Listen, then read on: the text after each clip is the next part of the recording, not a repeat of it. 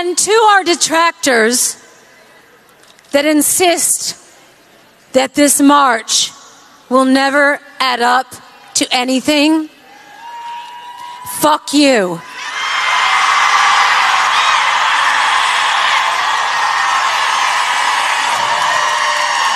Fuck you.